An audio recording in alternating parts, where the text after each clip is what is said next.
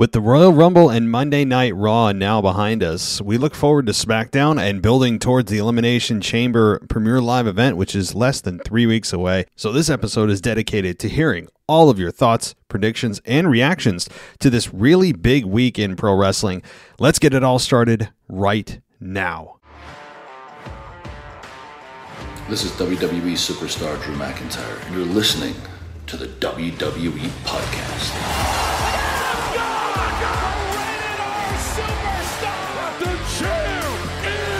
One that everybody wants, me. Becky Lynch is going to WrestleMania. Claymore! Claymore! Austin 316 says I just whipped your ass. This is my idol. You're going to acknowledge me. Welcome, everybody, to the WWE podcast. It is Wednesday, February 2nd, 2022. We're going to dive into all of your emails, your calls. But first, I want to give a shout out to our latest patron, and his name is Zach Downing. So, Zach, I will be sending you the Discord link shortly for your uh, chatting pleasure with all the other patrons, which is such a blast during live events. And uh, all you have all the ad-free content your hearts could desire. I mean, like you, it, it will fill you to the brim with the amount of content we have, all ad-free. So I'd invite you to join Zach over at Patreon, Patreon.com/slash WWE Podcast, and get yourself in there for a dollar and go ad-free as well as on Apple Podcasts. We have a subscription ad free button right on the homepage of our Apple Podcast page. Um, one last thing also, go check out Ashley's podcast, Ashley Mann, who's a longtime co host, probably the longest running co host in the entire existence of this show. Ashley Mann has a podcast called Kick Ash Podcast, like Kick ASH Podcast, all wrestling all the time, not just WWE, AEW, and more. So I'd really recommend you check it out. It's it's, it's, it's as good as you would expect it to be, and maybe even better. So uh, go give her some love at the so the Kick Ash podcast. It's available on Spotify and on Apple Podcasts and Spreaker. So, all right, all right, everybody, let's let's uh, dive into the Patreon emails first, and that's another reason to go ad free on Patreon is you get your emails read right at the beginning of the show. So let's uh let's do that. We actually don't have DJ Kuzmo tonight. I know.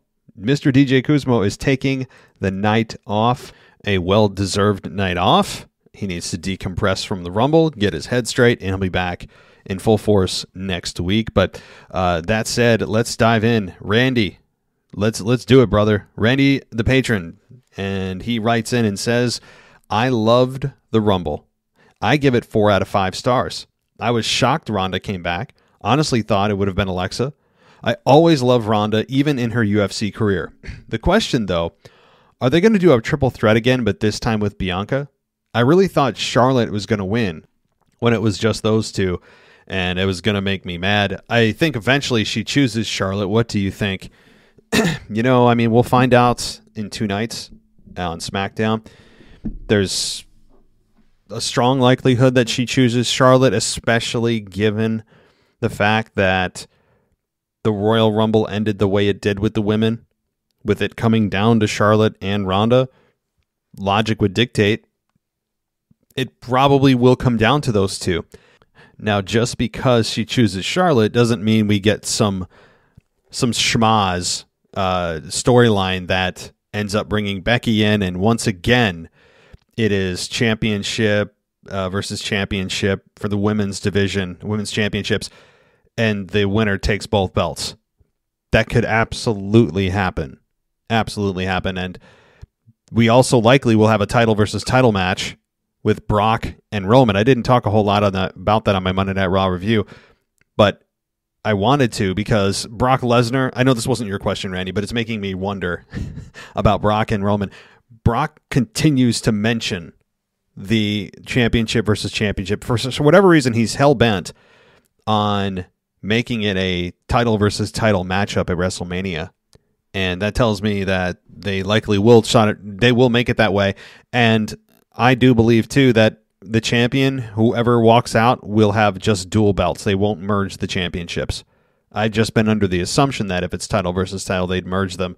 That has not been cleared. Of course, we have eight weeks until the uh, until WrestleMania, so there's a lot of a lot of TV to get through. and a lot of storyline to, to get past and to be told to us. So I think that you could have in the women's division, back to your question, Randy, that it could be a triple threat. I I hope they don't go that way. I hope it's one on one. And if it's Ronda Becky, then cool. If it's Ronda Charlotte, cool. I don't want another another triple threat. But WWE cannot help themselves. They have a trigger finger, a hairpin trigger finger on triple threat matches, and they have no shame about doing them. And I could foresee them saying, in the greatest rematch in the history of the women's division, we've got Rowdy Ronda Rousey versus you know Becky Lynch and, and, and Charlotte. Uh, they likely have a they have a good chance of doing that. WWE loves to recreate history, and when they do that, it's never as good as the original. Uh, but by the way, Ronda Rousey can I don't know. Uh, calling her Rowdy Ronda Rousey, I mean, it's a blatant ripoff of Rowdy Roddy Piper. Why are we accepting of that? What other gimmick in WWE history is a blatant ripoff of another legend's gimmick, and WWE has allowed it? Is there any? Is Ronda that unoriginal that she has to, you know, uh, just essentially steal the duplicate, try to duplicate Ronda, Rowdy Roddy Piper's gimmick. A lot of R's there. And she can't come up with something on her own. I don't. I'm not a Rowdy Ronda Rousey fan. I'll, I will say that she's a big star, but I think she's a better heel, and I don't like her as a person. I I I, I don't. So there's a lot of again. I, I advocate for her being there, but anyway, I'm way off the rails, Randy. Let's get back to your email. So let's see. Uh, now for the men's I called that a mile away. I knew Brock would not win because of Roman and Paul. You're, you're talking about the uh, the the WWE Championship match between Brock Lesnar and Bobby Lashley. Uh, but yeah, I mean, you you had your hunch that it was going to be because of Roman and Paul, and you didn't think Brock would win the Rumble though. I thought that maybe Riddle or a newer talent would win it, and now the question is: Do you think that Brock beats Roman, or do they throw Drew in the mix? You know, I I think Drew could end up being in the mix, or Seth Rollins could be in the mix.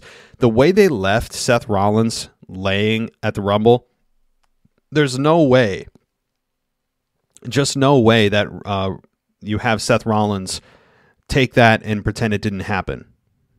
If they if they ended it where you know Roman wouldn't break the the, the five count and he just did it out of frustration, but also to protect his championship, then sure, maybe Rollins would be like, okay, well that you know that's just Roman Reigns. I know I can't. He he knows he can't beat me, and they move on. But the way that he brutalized Seth Rollins tells me that this program is not over. And given it's WrestleMania season, tells me even further that indeed it could be a, a triple threat of some sort, or hell, a fatal four way. Uh, I don't mean to curse it, Randy, but I, I, you know what? If I could predict it right now, I hate to say this, it would be, and I don't want this, but this is where I think they're headed, is a fatal four way for the United States, or in the United States, the Universal Championship. Roman Reigns versus Brock Lesnar versus Drew McIntyre versus Seth Rollins. There you go. And I don't want it. I'm saying I could see it happening, a very strong chance. So, okay, moving on. Becky Lynch on Broken Skulls was awesome. I haven't seen it, Randy. Um, I love how Stone Cold's asked the question about her and Charlotte. Glad someone stood up to Charlotte. Anyway, I'm so excited about Lita coming back. I can't wait for her. I can't wait for that match. Are they doing an elimination chamber for the women? If they said they are, they mu- they must have missed it. That's it. Be safe this week, Randy, the patron. Well, Randy, thank you. So I don't. I haven't heard anything about the women yet, but my assumption is that they will do one for the women because they're trying to keep women on equal footing and all that. You know, that's my guess. Because to have two for the men and none for the women, I think would be a bit of an, an imbalance in their minds and in the minds of the of the public uh, public eye. So I haven't heard anything official. I haven't I haven't you know done the Adam Pearce it's official anything. I, I haven't. But I, I if I was to be a betting man, I would say that yeah, they probably will do a women's rumble or a women's elimination chamber match and uh, I, I, also will have to check out the Broken Skull sessions with Stone Cold and Becky Lynch. I'm really glad you reminded me of that. That's on my list. Maybe tomorrow while I'm at work. Don't tell my boss. Uh, I, I, will be doing that. So um, thank you, Randy. And yeah, I'm excited about Lita too. I know a lot of people aren't. You know, I, I had uh, a guest, a co-host on last night, and uh, Kanye Twitty, formerly known as the Crisis, was on, and he did not find Lita really any any uh, really didn't do anything for him. There was no appeal for him there. I am a bit on the the more nostalgic side with her, and I think she's much better on the mic than say a Trish Stratus is, and she I think is okay in the ring right now. You know, she's aging, yes, as we all are, but I think she can hold her own. Do I think she's going to win the championship? Hell no, no chance. So, Randy, awesome to hear from you. Let's continue on. Tommy, let's see. Tommy Smith, another patron, says, Hi, Matt. Hope all is well with you and your family. First of all, I really enjoyed watching the Royal Rumble and chatting with everyone in Discord. It was a lot of fun, except I have to admit that Mr. Casual Wrestling Fan picked the winner of every match right, or at least that's what he's telling us, and I'm too lazy to go back to verify it. Tommy, yeah, I, I heard that too. I haven't looked either, but uh, my co host last night also said the same thing. So I'm going to go, that's two people telling me that. And I don't know if we're all just going in the word of Mr. Casual Wrestling Fan, but he's an honest guy. I don't. He has no reason to, to lie. So taking the, that at face value, he's good at predicting. I got to say, uh, if you're looking to you know bet on sports, maybe have a conversation with him because he has a knack for for uh, choosing the right winners in pro wrestling and and, and maybe otherwise. So. All right. Uh, at first, I hated the result of the Roman Seth match, but then as the night went on, I think that it was perfect and set things up for the future. If anything, they made me dislike Roman even more than I did before, which was their intent. My question is for you do you think that this is the start of a babyface turn for Seth? You know, I said that at the time because Seth came out in a very nostalgic, uh, pulling at the heartstrings of fans way, bringing back the old tactical tactical vest, entering the ring the same way, the music, uh, you know, uh, what is it? Um, Alpha, Omega. I don't know, like the, the beginning of the Shield song. I can't remember the words of it. I tweeted it out. Somehow I remembered it. Um, but everything about it was feel good for the fans, and the fans cheered it. And then as the match went on, I think that Roman became the default uh, heel in a heel versus heel match, and Rollins took over that uh, de facto babyface role, but even more so at the end when the sympathy was on him for getting his ass completely beat to a pulp with a chair.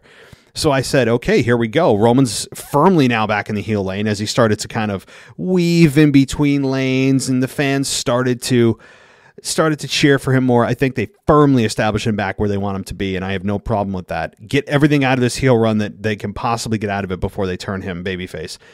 The other flip side to your question with Seth turning baby, I don't know. You know, last night, or rather on uh, Saturday night at the Rumble, if you had told me or asked me this question, I would have said, "Yeah, this looks like it's a it's a babyface turn for Seth, the start of one." But then you you you fast forward to Monday Night Raw, and Seth's being his kind of insufferable, laughing self, and had a very very awkward segment with Kevin Owens on his Kevin Owens show that did not go well. The, the chemistry was just for whatever reason not there that uh, on Monday night. And you know, I'm not it happens. It's fine. I'm not ranting about it. It was just an off night for both guys, and the segment was poorly written. I think everybody involved was just uh, it just didn't work, which is you know it happens. But um, do I think it's a babyface turn for Seth? I'm going to need more evidence. You know, I think that if Seth goes to SmackDown, Seth's going to go to SmackDown likely on Friday and confront Roman. To which, by the way, WWE will just ignore the fact that he's a Raw star, and uh, I'd love to know the excuse now from Michael Cole of as to why that uh, we have a Raw star here. You know, uh, because what the hell are we doing with the draft if you're not going to even uh, abide by the most basic rules possible that people just can't show up on other shows unannounced, unprovoked, and and wander about. I mean, that's the basic rule. That is the foundational rule for the draft. Without that, the whole thing crumbles. But uh, maybe maybe we'll get an excuse from Michael Cole that oh well, you know, it's WrestleMania season. Uh, you know, the one time that SmackDown and Raw goes head to head. And then uh, you know Rumble. Well, it's Rumble season. That's why they're here. And then Survivor Series. Well, it's the one time they go head to head. That's why they're here. I mean, and and it just the nonsense goes on and on. So I fully expect that Seth is going to be on SmackDown to confront Roman Reigns. And at that point, I think if he's if he's in the ring with Roman Reigns, he's a, he's going to be a babyface. If he's in the ring with Kevin Owens doing his insufferable shtick, I think that probably he's and I say insufferable in an actual complimentary way. I don't mean it in a way that's channel changing. I'm I'm being as complimentary as I can to Seth because he's doing career work right now, and uh, So I want to make that distinction. But I think it de- it's going to depend on the brand and the storyline. I like Seth as a heel, but in a Roman Reigns case, as much as I hate Seth Rollins as a babyface because he's way more suited to be a heel, way more, that you could have um, him as a babyface for the sake of keeping Roman a heel because keeping Roman a heel is priority numero uno. Absolute most, uh, the biggest priority because it's working so well, and I wouldn't mess with what's working. Okay, um, no, then your is this your final point? Uh, yeah, I think it is. Uh, I did. I didn't like Ronda winning the women's rumble. Like you pointed out in your review show, they have two spots for WrestleMania, and I think they could have easily put Ronda in there without having her win the rumble. I think they missed an opportunity to restore some credibility to Shayna Baszler. They have booked her terribly over the past year, and this was her opportunity to have her go back to being where she was last year. Maybe they will they uh, she will get a push later, but I'm curious as to why uh, what you think they will do with her in the future. Thanks as always for a great show. Looking forward to your comments, Tommy. Well, thanks, Tommy. So, yeah, I mean, I, I did mention that, and people forget that. You know, people flip out about uh, Rumble winners, and you just have to remind yourself. You're like, oh yeah, that's right. Um, there are two ways to get to a championship match.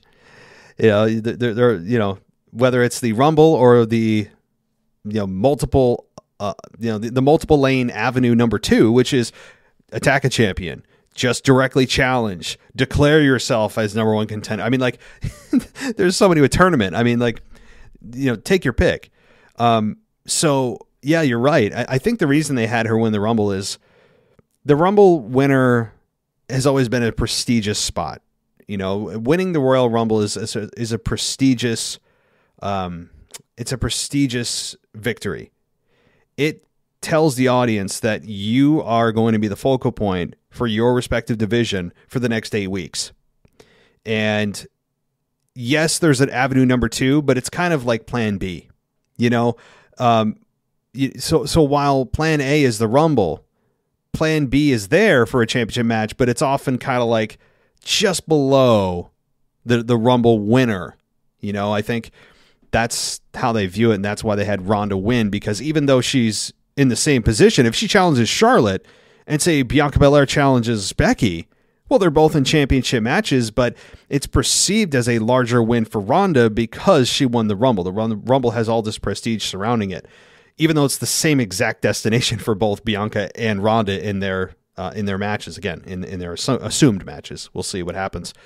Um, but uh, as far as Shayna Baszler, I have been waiting for them to do something with Shayna and you and I and others since she was in the, the tag team with Nia Jax.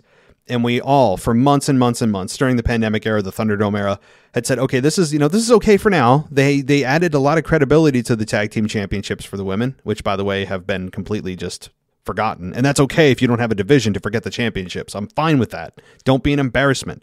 Um, but with with Shayna in that tag team, we said, okay, at least she's getting airtime.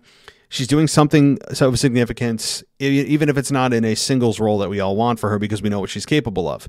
You know, remember at the uh, Elimination Chamber just a few years ago, before she faced Becky Lynch at WrestleMania 36, she was she single-handedly beat every wom- woman in the Elimination Chamber. Do you remember that?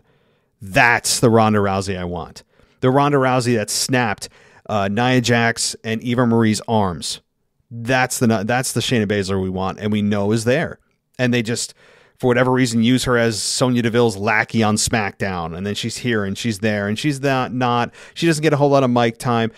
I don't know what they feel like she is. I don't think they know what they think she is.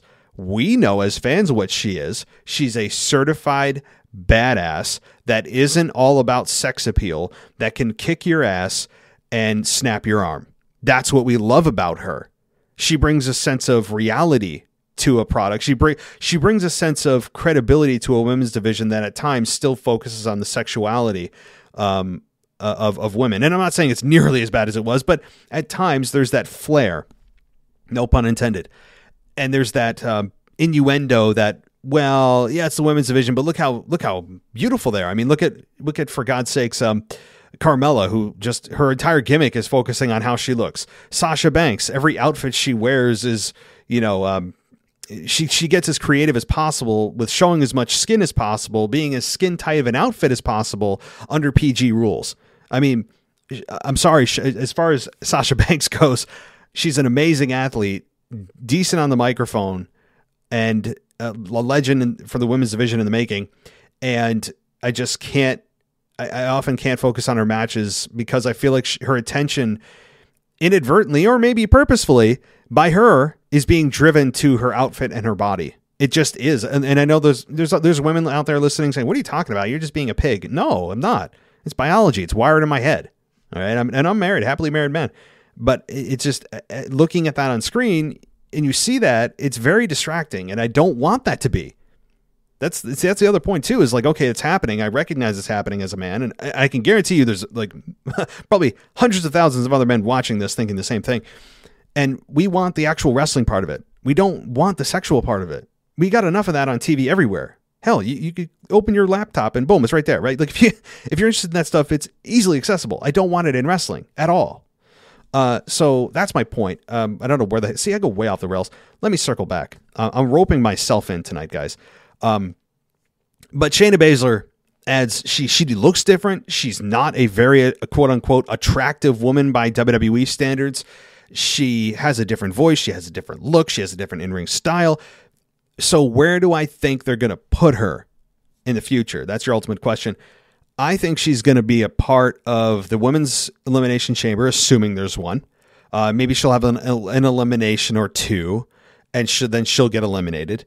And uh, at the at WrestleMania, she'll probably be involved in some kind of uh, tag team scenario, or God forbid, the women's over the top rope battle royal where they throw all of the misfit toys they didn't know what to do with at WrestleMania. I mean, that's that's probably probably where they're going with uh, with Shayna Baszler. Unfortunately, I don't see her in the women's championship picture uh, un- until there's a babyface champion she can challenge because she's not going to go heel heel, especially Charlotte and Shayna. No one would care from a an emotional standpoint. I don't think.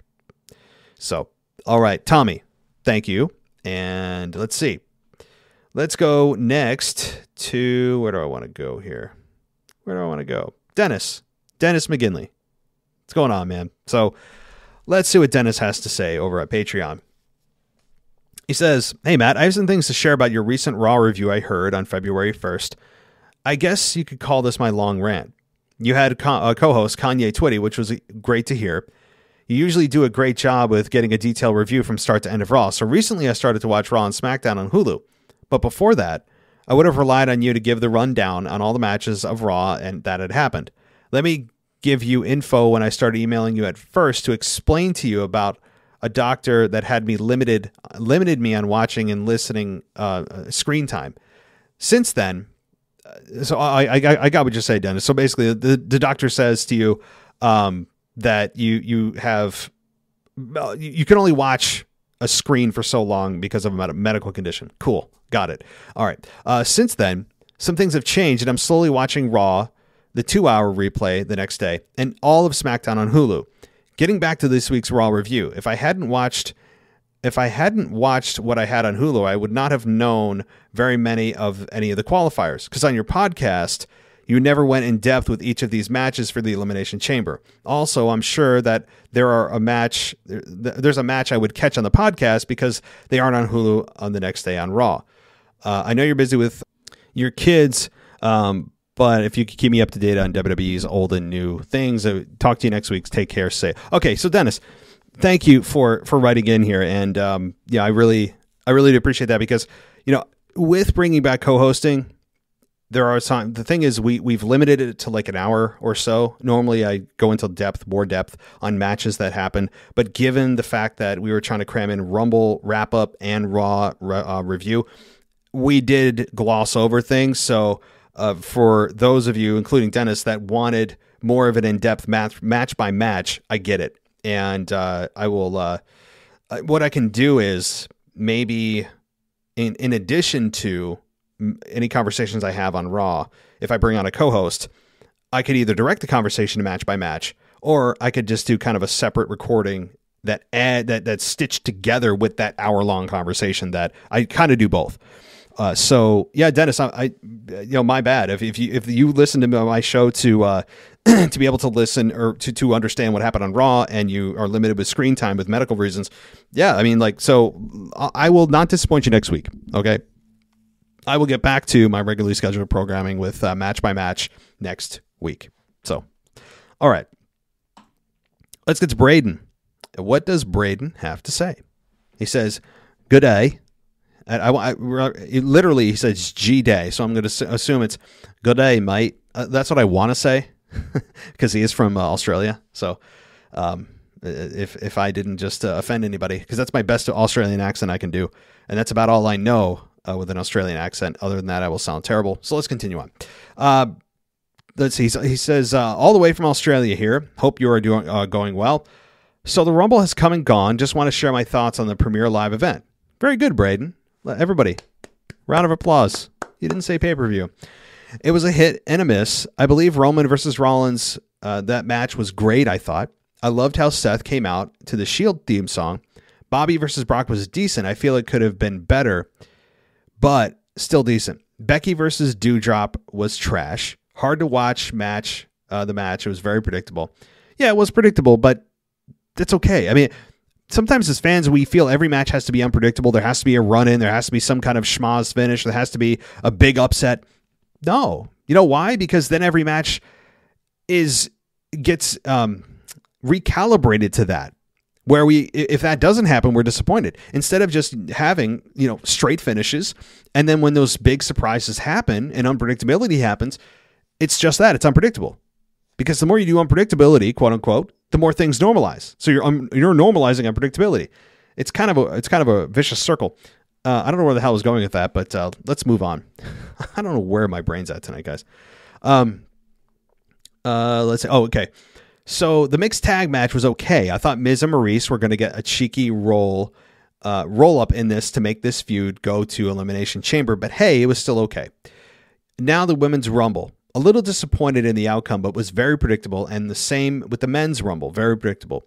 WWE really did not need to give Rousey and Brock the wins here, as they uh, if they gave the wins to someone like Riddle and Liv to really elevate them to the next level and therefore creating big new stars, it could really help with star power. Obviously, that's just my thoughts. Anyway, thank you. Till next time. Well, Braden, thank you.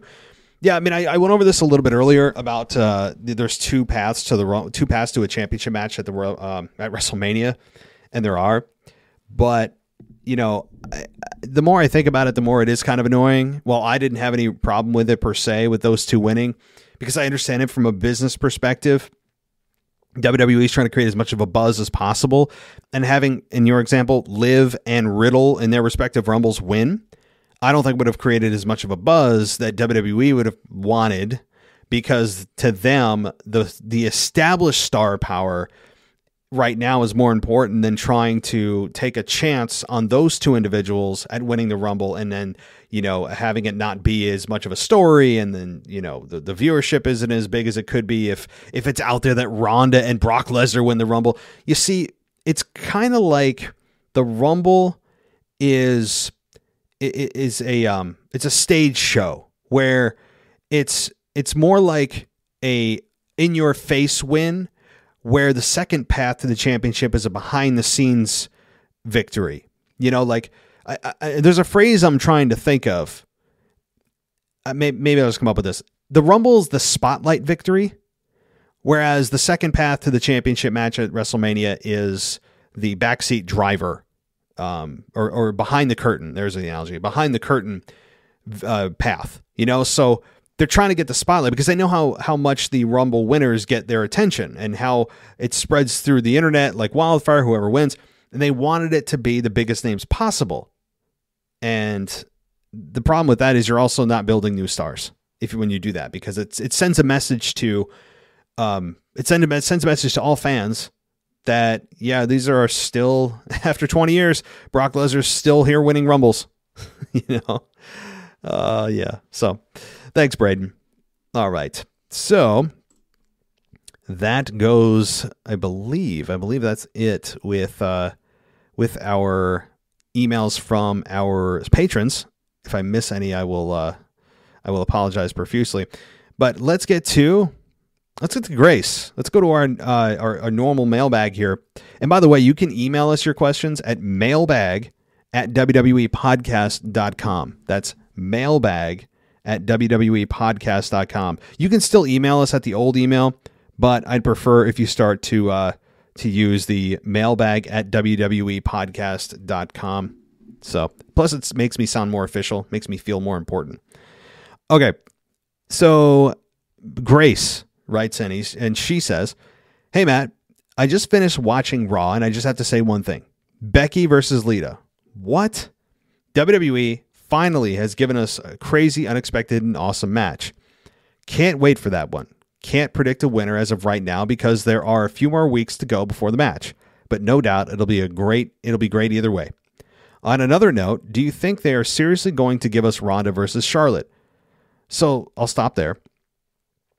Becky Lita, I, am excited for that again more than uh, my co-host was last night, and it seems like you're more in my boat with this being a, a match that ex- you're excited about. Maybe I'm not maybe at that level of excitement it seems you're at, but I'm definitely looking at this saying, yeah, this is a match you never would have expected, never w- thought it could happen. So that in that respect, I appreciate it, and I appreciate, uh, and I'm interested in the match from that perspective. Not necessarily who's going to win, because let's be real about who's going to win this, uh, or at least retain the championship, because there's a difference. You can win and not win the championship. So, okay. So as far as Ronda Charlotte, I mean, it seems to be a theme now throughout the the show. So Ronda Charlotte, I, I I could see that happening if I was if I was gonna be a betting man and I had two options in front of me and it's it's I had to pick one. Option 1 is Ronda versus Becky. Option 2 is Ronda versus Charlotte and I had to pick one of those with the the uh, intent that my pick is going to be who I think WWE would pick, not who I would want. I think it would be Ronda versus Charlotte. That's who I would believe because again, the Royal Rumble was step one of that. They were the last two out. The look Charlotte gave Ronda, the look Ronda gave Charlotte. There's a story already building there. You could argue the same thing for Becky. There's unfinished business with Becky too. So, you know what? Either way, even if it's just Ronda Charlotte at WrestleMania and there's no third person, if Ronda sticks around for a little while, and um, my guess is that she does, um, you know, I think that we could easily get Ronda Becky at say SummerSlam. I mean, or or or in a pay per view before that. So, I think either way we'll get it. We'll finally get Ronda Becky. So, uh, the other thing is too. This is a bit of a side note. Right? Okay, so. Uh, this is not political in any sense, okay? So, Mr. Casual Wrestling fan who called me out on the uh, his takeover edition about avoiding politics, and he says that he's not me. Um, I, I, love how I get called out on my own show by my own my own uh, co-hosts. It, it's a wonderful relationship we have with everybody, really. Um, but uh, this is not political in any sense. So, but Ronda Rousey put on her Twitter feed her. Um, she, let, let me pull this up here. Not that you can see me. I'm typing in, in on Instagram Ronda Rousey, and on let's see, what was it? She's got 14.5 million followers. Jeez. Uh, so she put up on uh, let's say a day ago. It looks like a picture from the Royal Rumble, I think, or backstage. She's with her baby, and uh, that's cute, right? Like no problem. And she's also breastfeeding her baby. Now, I have no problem with breastfeeding. It's one of the most natural things ever. But there's also a picture of her pumping the breast milk out of her. No, no baby, just her sitting there getting her makeup, and she's holding a breast pump. Now, her hashtag was, well, she said multitasking, hashtag normalized breastfeed, normalize breastfeeding. Okay. Who does not think breastfeeding is, is normal? Is there anybody out there that thinks, oh, you're breastfeeding your kid? What? But what do you mean you're breastfeeding your kid? You, that is just weird. No, no one ever has said that. Not one person. I think what she meant to say was normalize public breastfeeding. I think that's the intent there. Uh, and you know, I, I don't know why she feels this this is the place to do this, and why we also got a picture of her alone with getting her makeup done, holding a breast pump? If you're normalizing breastfeeding, why do I need to see you sitting there with a breast pump? See, there's no kid there. You know, so I, I, I just I don't know. Um, it's I just I, I have mixed feelings on this. You know, like here, here's what I'll say about this. This is way the hell off topic, but since Ronda Rousey's putting it on her Twitter feed or on her um, Instagram feed, um, and she's, I, I, guess, making some kind of statement, as Byron Saxton would say. Here's my take on it. And, and as a father of two kids, and I've my, my wife breastfed my kids. Here's what I feel about this. I have no breastfeeding is awesome. I think it's better than bottle feeding. I think it's it's wonderful, right? It's great. It's a it's a it's a it's an amazing thing. I I I do find it weird. And and you know what? You can say normalize public breastfeeding all you want. I don't care what anyone says. If you're out in public and you just whip it out and you just like, you know, like no cover, you just whip out your your uh, you know your boobs and you just start breastfeeding your kid on like you know you're you're in like a mall or something or in any public place. And you just kind of like pull them out and boom, here they are, and kids go at it, right? Uh, you see, to me, you can say, "Oh, it's it's normal." Oh, yeah. There's a lot of normal things, human functions that you do that you don't do in public but are still normal. Right? Am I wrong? I mean, do you want me to start uh, keeping the, the bathroom door open for you in a public place? Like, I mean, I don't know. It's you'll never be able to make it normal in the general sense of people looking at it and saying, "Hey, boy, nothing wrong here. No, this isn't weird." you know, it's I, I don't know. Um, it's it's a very touchy subject to some people and again, I, I'm fully supportive of breastfeeding. I just, it will never ever, no matter how many times I see it, you can hashtag all, you can hashtag away for the rest of your life. You can hashtag your your your Instagram account to death. Anybody can.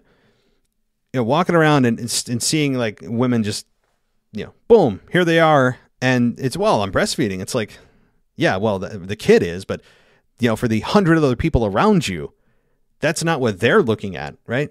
I mean, I don't know. Anyway, uh, so we'll, we'll see if this cut. We'll see if I cut this out of my audio. But if you're listening, obviously I didn't. I don't know. Ronda Rousey made me do it. So if you're wondering why the hell is he talking about breastfeeding on his podcast, Ronda Rousey made me talk about this. And I am not a fan of Ronda Rousey at all. I think she's an entitled, arrogant, uh, narcissistic human being. Perfect as a heel, though. Amazing athlete. Perfect as a heel. But I think she's a self centered, just narcissist. That's what I believe. So, you know, take that for what you will. But I'm, I'm all for her being in WWE. Okay. Wow, that went way out in left field. Sorry, Grace. Sorry, I don't know where in the hell I got this uh, from Ronda and Charlotte. So, if if you haven't already stopped listening to me, if if you totally disagree with my take on breastfeeding, um, that's cool. I mean, it's whatever. Anyway, um, Grace, so sorry. Let's get back. Are they that oblivious to the fact that they have been wanting Becky versus Ronda for nearly three years now? People wanted this match before Charlotte was put into the triple threat. If Ronda picks Charlotte this Friday, it will be such a letdown. And they are missing a huge opportunity for WrestleMania. What do you think will happen with that situation? Uh, so, what do I think will happen in that situation? I, I, I th- so people have wanted one-on-one Becky Ronda. Here's the problem, though Becky, people want Becky to be a baby face facing Ronda. And people are having a really hard time struggling. They're struggling to boo uh, Becky Lynch. Her music is so catchy and it has so much nostalgic feel to people and a reminder of the journey she's been on. But I think until Becky turns back fully babyface, it might not happen. So I think she will choose Charlotte and it'll be one on one. But if Ronda picks Charlotte, yeah, it will be a letdown, but I think she will pick Charlotte. And I think Ronda and Becky will happen. It will still happen because I think Ronda's going to be kind of here and there on an edge like schedule for the next six to 12 months. So I think we, maybe we'll get it at SummerSlam. It'll happen. Well, it'll happen. Uh, okay. Also, I know I talk about Becky in all my emails and probably will continue to, but it's because she's my favorite and the wrestler that brought me back into the WWE after not watching for a long time. So I guess you could call me the resident Becky fan. Anyway, let me know what you think. All right, well, uh, Grace, I mean, uh, resident Becky fan. Yeah, it, look, she she pulled a lot of people in because she's number one, a, a female that is at the top of her game. And how many times have we in WWE seen a female take over the industry? The answer is never. So she brought in a lot of new eyeballs. The fans are the ones that drove it. Because if WWE had had it their way in the some was it SummerSlam of 2018, whatever it was, and she turned quote unquote heel on Charlotte, and the, the crowd just went along with it and they booed Becky, we wouldn't be sitting here today. It's because of the crowd in that arena that night that booed her or, or cheered that moment and turned her babyface and spit in the face of creative it's because of that night and the momentum that that was formed from that that moment to this moment, uh, and really through WrestleMania 35 and beyond. That's the reason I think you became a fan because you said you came in because of Becky. So, all right, Grace, thank you for your uh, your email and continue to uh, continue to continue to contribute. It's fun. Okay, let's see. Where do we go next? Where do we go? So let's uh, let, let's talk. Uh, so Dennis writes in, not very long at all. He just says, "What do you think of that, Matt? Things are not good in WWE." And what he sent in from Dennis, thank you, Dennis, for this. It's an article that is titled "Shane McMahon reportedly receiving backstage heat pulled from Elimination Chamber match," uh, and this says that. Um, this is according, according to Jeff Whalen. I can't see the actual website source. But it says on the latest Wrestling Observer Radio, Shane McMahon's involvement in the Rumble was discussed, and it was noted that coming out of it, there was a lot of backstage heat on McMahon. Not only was he a participant in the men's match, but Shane was the head producer and presumably booked himself to look good at the expense of some other wrestlers. While he had no official uh, official office position within WWE, Vince has left the men's Rumble match to Shane to book, not only this year but in years past, and the way he took charge reportedly rubbed people the wrong way. Dave Meltzer also reported that Shane was penciled in to compete in the men's Elimination Chamber match and WrestleMania as well, but those plans have been pulled and he was replaced by Austin Theory. Well, that makes sense, actually. The plan was apparently to have Shane involved in the chamber match to set up a match against Seth Rollins at WrestleMania, but that is out the window now, though it's unclear if it's because the heat he's getting backstage led to that or whether Vince simply went in a different direction. Well, Dennis, uh, see, I'd respond to that, except we've now have learned that Shane has been quote unquote let go by WWE. Shane is no longer with WWE again. That that those are the reports right now. So once again, Shane comes and goes and goes and comes and comes and goes. So maybe he'll go back to uh, I don't know China and and make more shoes or whatever he does. Yeah, I don't know. Um, there's there's obviously going to be more coming out of this. Shane just never has seemingly fit in with the family business. There, you know, we'll never know the backstage conversations that happen with the door, you know, locked and and shut and padded, where we know nobody hears those conversations. You know, we can only sit here and speculate. We'll never know outside of maybe what's done in an interview or documentary years from now about what exactly is the relationship with Vince and Shane and why is it so strained and why has Shane been not really uh, interested in participating in this family business. You know, I, I don't know. I don't know, but uh, it seemingly is Shane's gone for now. You know, uh, do I think he's gone forever? No. I mean, hell, he's Vince's son. But all right. Thank you, Dennis. Uh, let's see we do have a fire trash mailbag from uh, Mr. Kanye Twitty. That is coming. That's coming. That'll be right after all the emails. So let's see here. Let's see what we got here. We have one more email, I believe. I believe this is the last email. And this is from, oh boy. Yeah. Uh, this is Mr. Resident Heel here. So huh, I'm scared. All right. He writes in and says, Cut my music, cut my music. The resident heel is talking, and it's serious, people. I have to send this email in last minute because I was listening to The Crisis. Oh boy. and he says in parentheses, yes, Matt, emphasis on me using his old name. Disrespect not only to me, uh, not only by me, but also the greatest wrestler of our generation. They're both begging me for to return to return, so here I am. You are lucky I even heard this as I was heard this as when I saw a whole hour and a half of Matt and Mister uh, Mr. Shouty slash Pat McAfee wannabe, The Crisis, I threw my phone out the window. Luckily for me, I have dozens of them lying around, so I endured listening to it until I heard myself mentioned. I take two weeks off, and this is the disrespect I get. I'm living rent free in all your heads, and that's the way I like it. Without me, this whole show molds into another any other wrestling podcast. I'm the difference. I'm the supreme. I'm your resident heel. Acknowledge me. So yes, I will collect quote unquote my boy. In other words, the man, the myth, the legend, the Miz. Lots of love, your resident heel, Owen. Well, that is your response. You wanted a response, and you've been called out, Kanye Twitty, by having him use your former name. Uh, apparently, to him, you are still the crisis. So I mean that that is uh, that's a slap in the face if I ever saw one. So I guess I will wait on the response. Dun dun dun. okay. All right.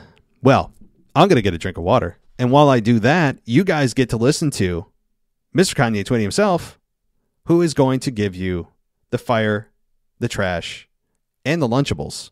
Here we go. Hello, everybody WWE podcast world. It's DJ. Co- wait, no, no, it's it's not.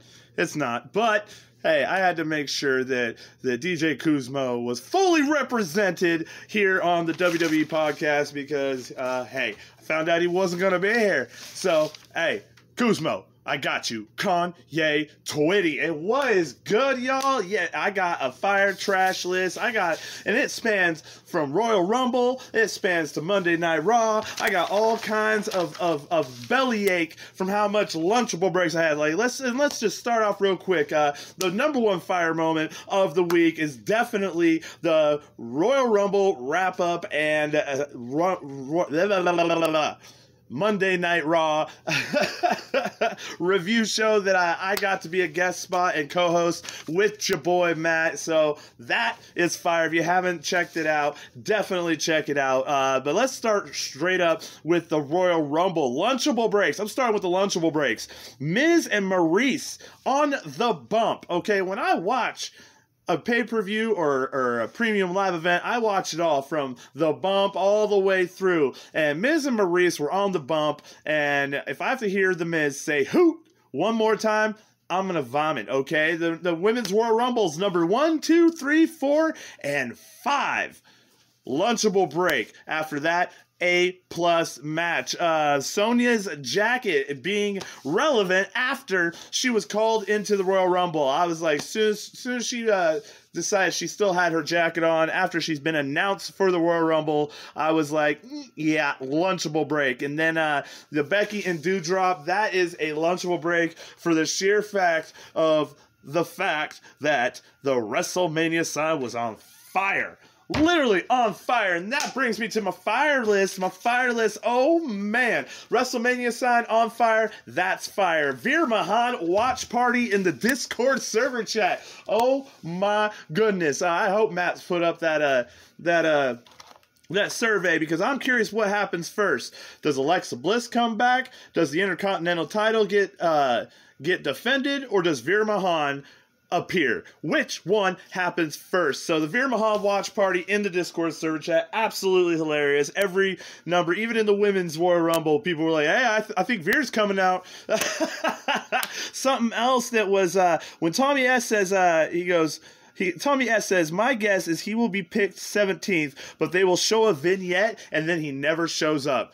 Um, that comment right there, Mr. Tommy, is, fire. Uh, Wee Man and Brock Lesnar getting drunk and hammered the night before the Royal Rumble, and uh, Brock Lesnar throwing him through a coffee table because I quote, Wee Man looked up at Brock Lesnar and literally said, Hey, Johnny told me you wrestle in a skirt. Oh, fire. If you haven't checked it out, go to the YouTube. It's fire. Uh, Booker T absolutely destroying Sonya Deville on the pre show. I don't know what was going on, but hey, someone got into Booker T's ear, had to tell him to calm down because he was brutal. Um, if you have, if you didn't see the kickoff, you missed it. But Booker T, a real, real dude, that was fire. Uh, the kickoff match with Roman and Seth fire. Uh, the spear to the pedigree. That was fire. Sasha Banks with her Sailor Moon ring gear. That was fire. Uh, Brie mode. I don't like Brie. I don't like the Bellas. But when Brie mode got the yes chance going, I gotta say I'm a home. T- it's my hometown boy, Bryan Danielson, Daniel Bryan, whatever you want to call him. So that was fire. Mickie, Mickie, Mickie she deserved that pop, that Impact champion, uh, apps, and using her actual her actual ring entrance and everything. I was all about it. Uh, Ronda whooping some a booty at the end of the Royal Rumble. That was fire. Uh, Brock, La- Brock and Lashley, their promos were fire. I mean, literally fire. Uh, and uh, Lashley's ring gear, I gotta say, Royal Rumble, he had it on, but I mean that didn't transpire into Monday Night Raw. We will get there. Uh, the uh, let's see what else. The Roman Reigns and and and the whole storytelling uh, with Seth and all that. That was absolute fire. The first match of the, of the Royal Rumble was literally was was, was a a plus. Uh, when Miz and Edge's match was over that's fire. Uh, and then yeah, again, uh, oh hey, and and the fans in the front row of the Royal Rumble that had the numbers five, four, three, two, and one, they were fire because that was fun. It was hilarious watching those numbers pop up uh, as the countdown went on. Uh, Knoxville fire took the hits. Omos killing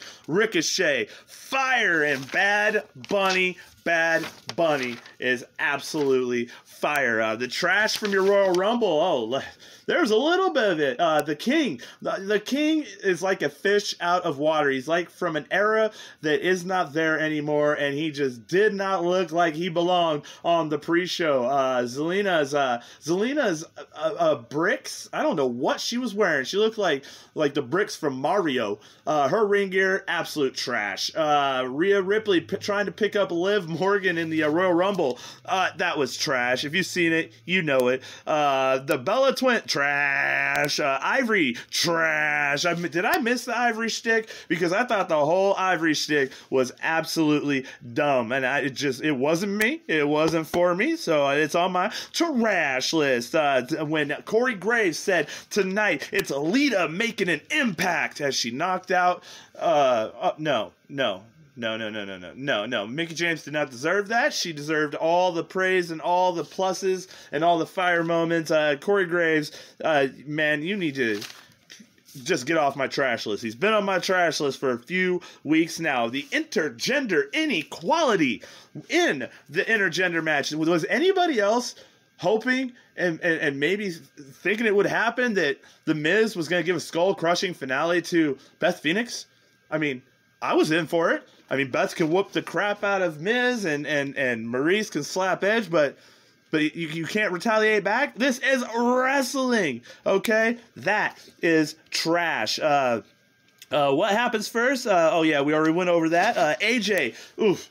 I don't like seeing AJ take bumps like he did when he hit that ring post. Uh, that was that was trash because I was worried for him. Uh, Corbin's shirt trash. Shane McMahon eliminating KO. We all remember when KO got Shane McMahon off television, right? I'm just saying. Shane McMahon, trash. Uh, Shane McMahon's booking of the Men's Royal Rumble, trash. Uh, Shane McMahon, rumored to be uh, be uh, involved in storyline all the way through WrestleMania, trash. Shane McMahon doing anything right now trash. Uh, let's go to Monday Night Raw. Seth Rollins' jacket, that was fire. The Who Dey chants from Cincinnati, hey, that was fire. Ziggler's new look, uh, the scruffiness, all that, that was fire. And Riddle versus Otis, oh my goodness. If you missed that match, go back, watch it, and you will know exactly why Riddle is one of the best players in the game. Uh, trash list from Monday Night Raw. Bobby Lashley looking like a Valentine box of candy uh, when when he opened up with that promo. I mean, that's just trash. Uh, Corey Graves, no one saw that coming. No one saw, again. Corey Graves, you are on my trash list. Be better. That's all I gotta say. Uh, let's see. Uh, KO when he said you're the universal champion of my heart. Cringe. The whole KO and Seth Rollins uh, promo was just uh, it, trash. Uh, Carmella's whole gimmick trash. I am over it. This beautiful, most beautiful girl in WWE. The the way she screams, she sounds worse than Vickie Guerrero right now in the ring. And when she has to interact with Corey Graves, vomit. Absolute trash. Uh, when the WWE burying the women's tag team titles, trash. The first two hours of Raw, trash. And uh, reliving the scooter race in the last hour, a, a quiz bowl. I, oh my god. Trash. Uh, you know, some honorable mentions. Uh, hey, hey, Mr. Casual Wrestling Fan, you, my friend, are on the trash list just because I am jealous. I am upset that you called absolutely everything in the Royal Rumble while we were in the Discord server chat. So really, it's just you're on the trash list just because I feel like I gotta say something. Like if you got if you got inside info, if you got Corey Graves on speed dial or something, or David Meltzer in your ear, like like you gotta be better at, at hiding the fact that you know everything.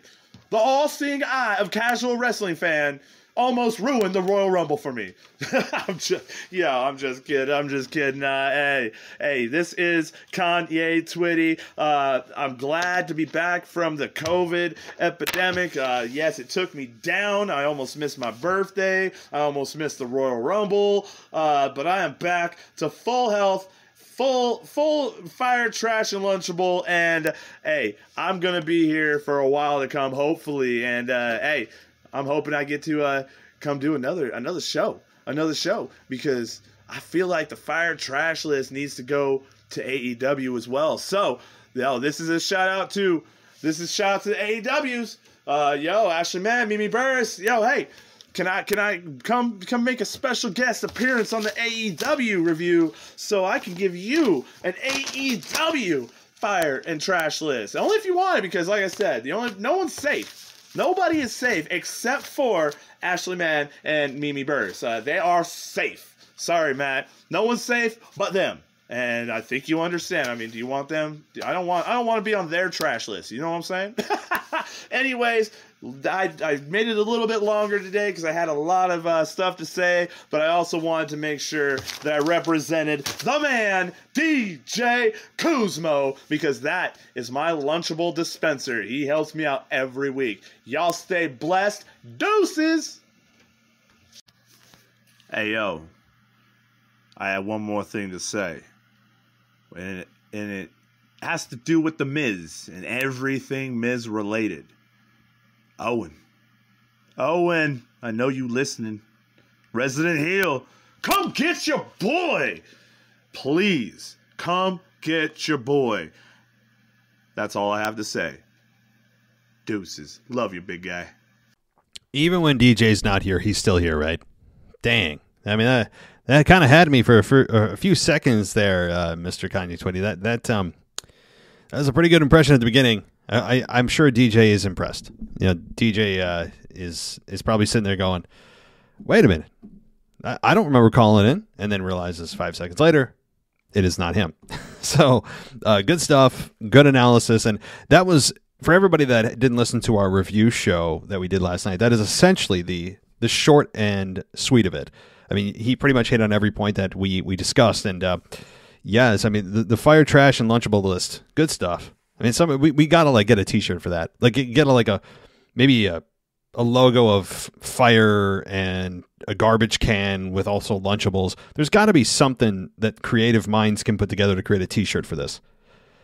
I mean, I'm like halfway kidding, but not really. So, yeah, I mean, look, good stuff. I mean, I, am not going to really comment on anything because I commented on all of that last night on our review show, the Rumble wrap up slash uh, Raw review. So I don't have a whole lot to add other than uh, I guess Owen, you've been called out again. Yeah, so maybe that that maybe that warrants an actual voice response next week. We'll see. And the plot thickens.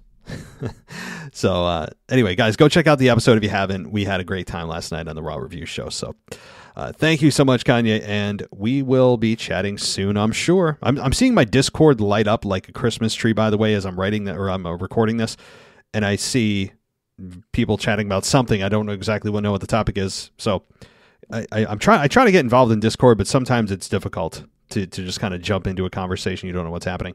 So all right. Anyway, guys, uh, let's get to our, uh, our our voicemail. Here we go. I believe. Wait a minute. I don't want to. Uh, I don't want to jinx it.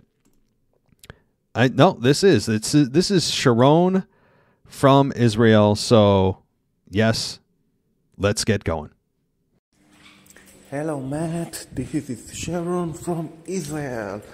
So we are after the Royal Rumble, and I have a few things to say about this event. Gotta say, it was nice. Not my favorite Royal Rumble, but in a few moments I will talk about Rumble.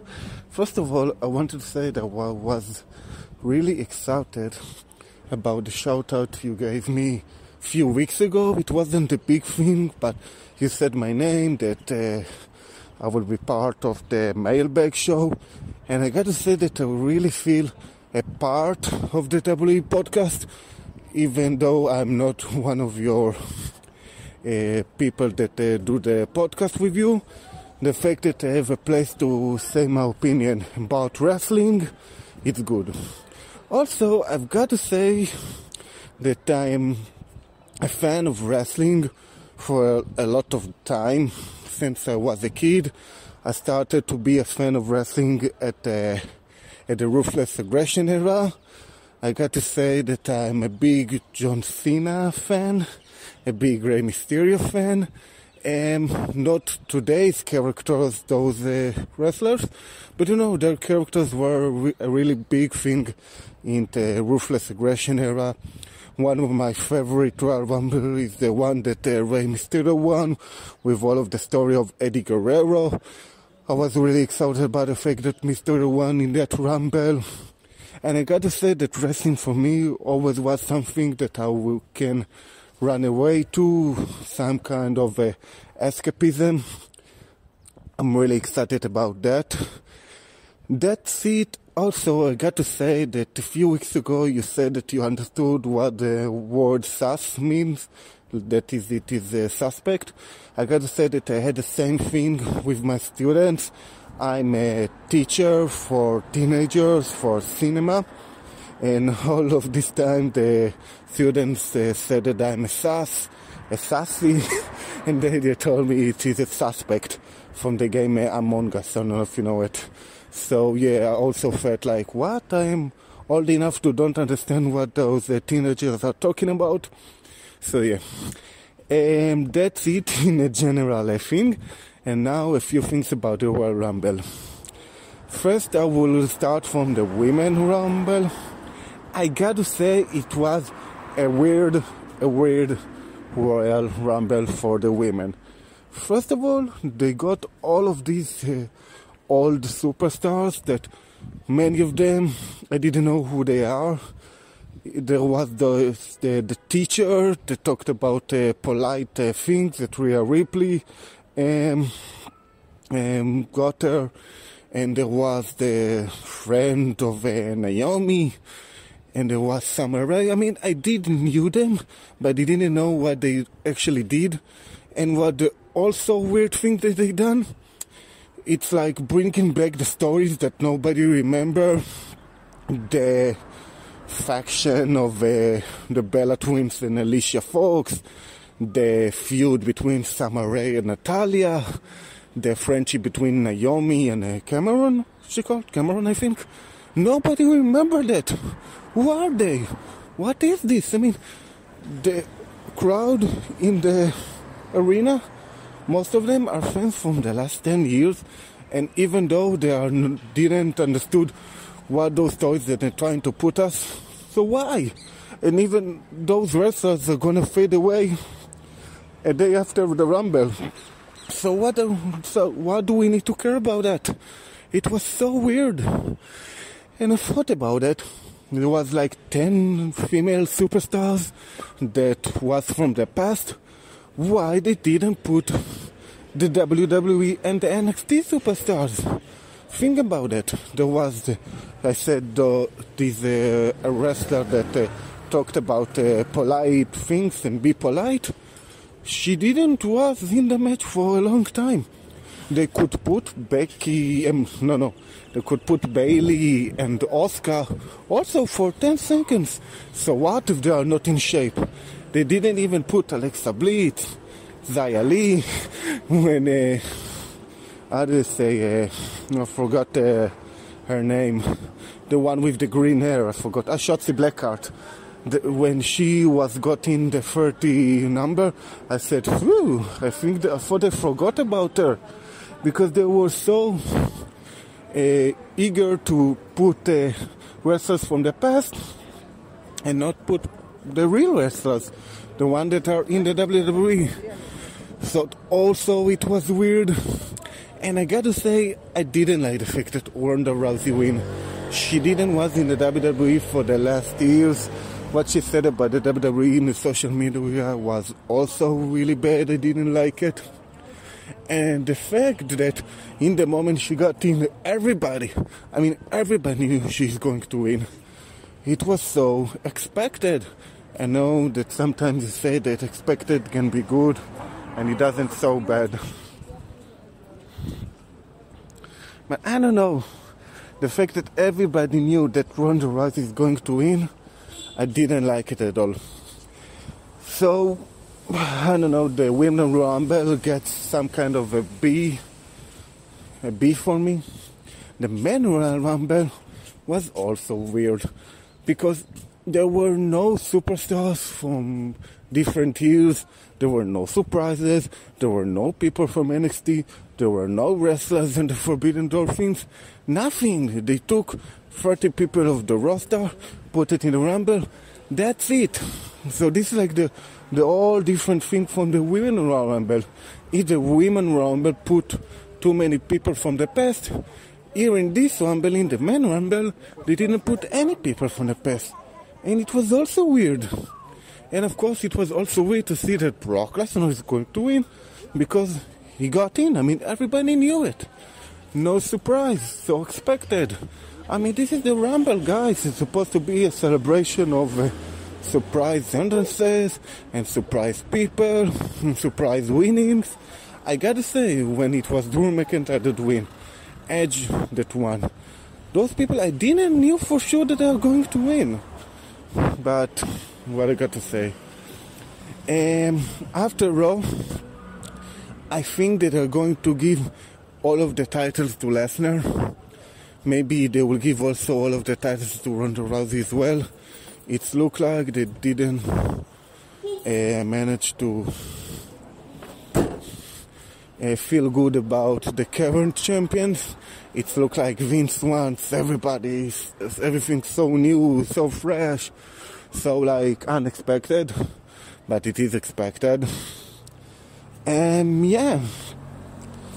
So that's it for me about the Rumble, about my wrestling uh, fan uh, history, and that's it. Hope you feel well, and see you next time. And uh, yeah, thank you. Well, Sharon, I'm glad to hear from you this week, and I'm glad that uh, you feel that you have a platform to to talk wrestling where maybe you don't, uh, you know, in, in your in your day to day life, you don't have that that friend or or an outlet to, to talk wrestling. I know I don't outside this. I mean, I'm I'm the only one I know at least in my immediate friends and family that that like wrestling. So, yeah, we're we're here for for you, man, and I'm glad that you feel a part of the show because you are part of the show.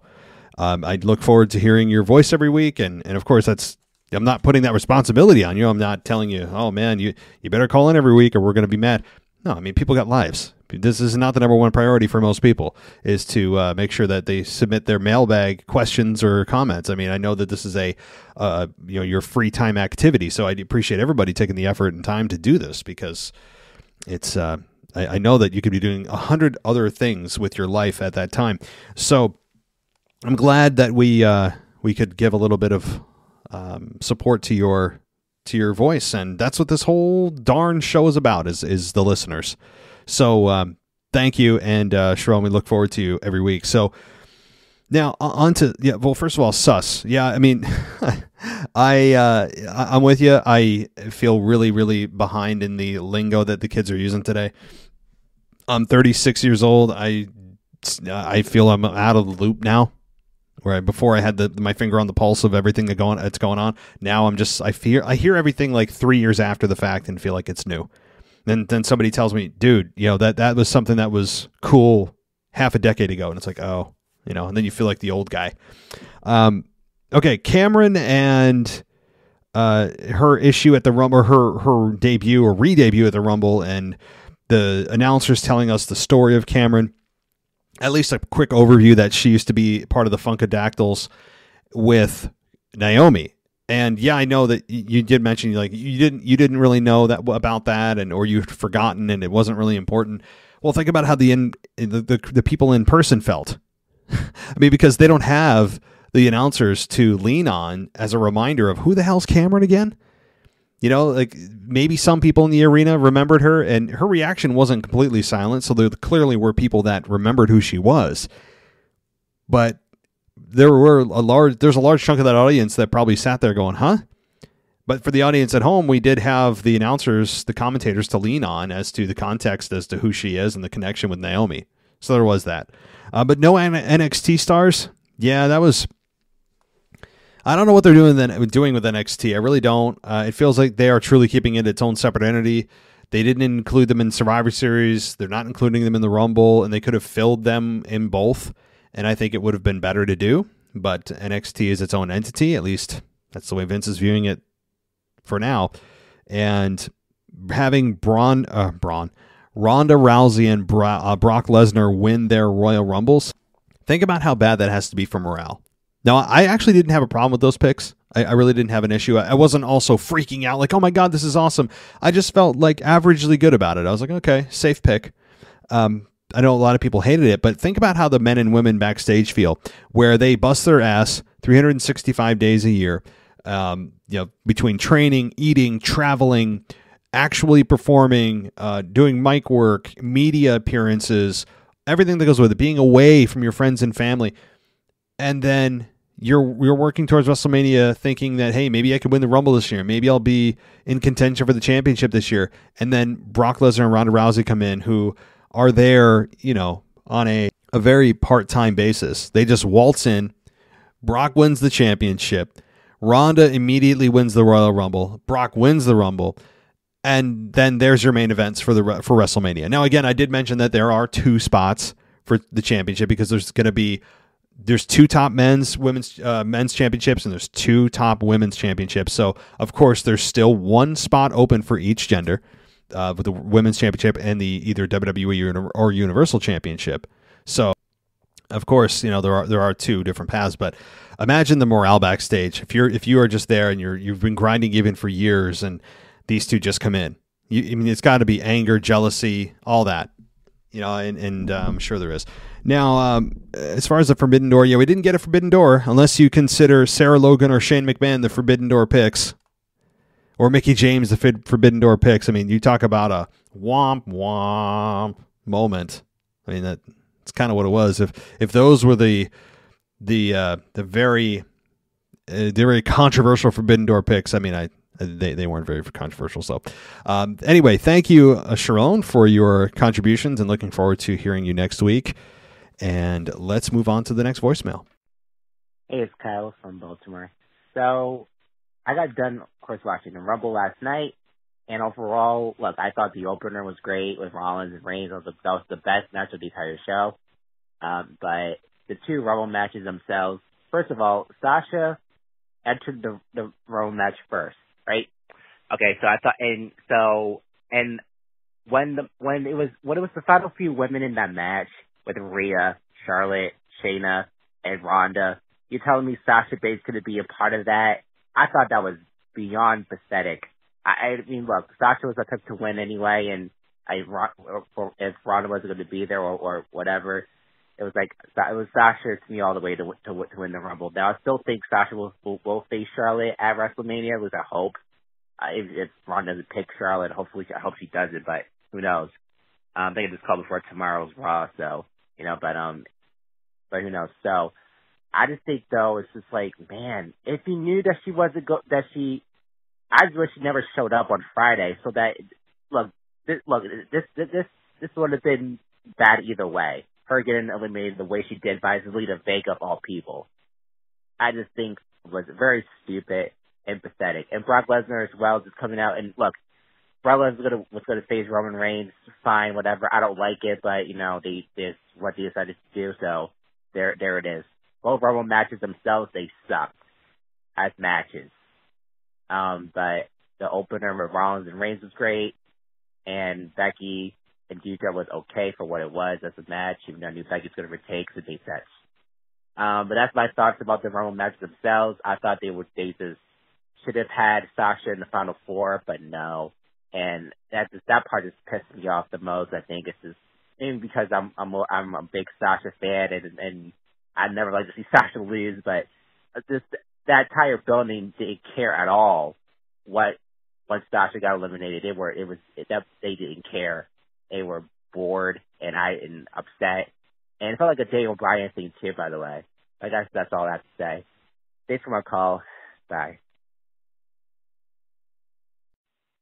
Hey, it's Kyle. Uh, it's my second voicemail, and um, I just got I just started listening to your review show from um, the Rumble and talk about Sasha Banks and her outfits in general.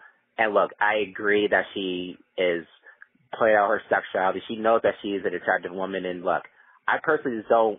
I never cared about how these women look when I when I started watching WWE, I never cared about the women they bored me to tears because they just had five second matches and not just worry about the whole sexuality. But when Sasha, Charlotte, and Becky debuted, they completely changed my my my view of women's wrestling. There's also Paige and and AJ Lee I'll put I'll put in there as well. Um, but so with Sasha in particular though, the reason why I love Sasha is because she has great matches. I think personally she's good. She's good on the mic. I know you don't, but I think I I, I just like what she has to say. Um, and you know, as she part of her sexuality, she is. But do I care about about it? No. But I guess that's just me. I know that she's a, a, a very attractive woman, but I just don't care about, about it. I don't. I just love the way she wrestles. And she's she every time I look at her, I just I just see star. Uh, but that's my quick take on Sasha. You know, I always talk about her a lot because she's my favorite about her, what she does. But that's my two cents of that. Um, but that's it. Thanks for a call. Bye. Hey, Kyle. Thank you for calling in twice. It is appreciated. Taking the time and, and sharing your thoughts here. So let's talk about your your first voicemail, and then I'll talk about the Sasha thing. So, well, really, the whole thing's about Sasha it, it, as a whole. I mean, when you're talking about the women's rumble and how it was an embarrassment that she was number one and they didn't make a big deal about her getting eliminated, and that's true. I, yeah, I was a bit surprised, and they didn't have Sasha in the final four. But you know, again, eh, when I go back to my theme about the whole there's two paths to a championship. Yes, she didn't get this opportunity in the rumble, but what if she ends up in the championship match anyway? are you really going to care that well she didn't win the rumble? No you're going to care that she's in the main event of wrestlemania. One of the main events of wrestlemania right? Like you're going to be just that's what you want. That's the ultimate destination. And if that's the ultimate destination and that's all you care about then how they have how they get there does that really matter? You know um so i was a bit surprised too i sasha to me was like a dark horse pick my pick was ronda rousey to win the uh, women's royal rumble but yeah i mean having her not in the final four is a bit of a head scratcher i don't know why I don't I don't understand. Uh, you know, uh, but again, what about Bayley? What about Asuka? They're very close to returning. Where do they fit in? There's a lot of unknowns. This women's division is by far. If there's only one-on-one matches for the women's championships on both brands, I will be floored. More likely that there's triple threats or fatal four ways, fatal five ways, fatal six ways. Hell, there probably is going to be a battle royal for both women's championships at WrestleMania. I'm joking, but maybe not really. Sasha Banks' outfits. Okay. I, I explained this maybe more than I thought I needed to, and maybe more than I wanted to spend time on. But look, if you don't see her and go, wow, um, her body and her sexuality is distracting, more power to you. Maybe it's just myself, but I, I have a, suspicion that, you know, um, there's a chunk of the male audience and maybe female audience, depending on your preference of, uh, of uh, partners, that look at that and go, hey, Um, she's good on the mic, but uh, her her body is so damn distracting. Her her outfits are so distracting. I think it you know, there is a chunk of the audience that that does feel that, that way, and my I'm in that chunk of the audience. So if you don't see that, that's awesome. That's good. Uh, maybe it means you're not as sick of a person as I am. So that's good. um, and uh, so more power to you. But I do think there's an audience like myself that exists that looks at her and says, "Man, she is really good in the ring. She's a living, um, a legend in the making for the women's division." And she's I think you know what when you said I don't like I think Sasha sucks on the mic. I think she's okay to to good. She's been good at times, she's been bad at times, she's been okay at times, but she very rarely touches the exceptional category and rarely, and rarely does she touch the god awful category. She kind of lives somewhere in the middle for me. So, uh, as far as the mic work goes, but in ring, I agree, she's amazing. She's really really good in the ring. There's no no that's undeniable. So, um all right. Well, I hope I explained myself a little bit more. But uh, Kyle, thank you for calling in, and let's keep things rolling.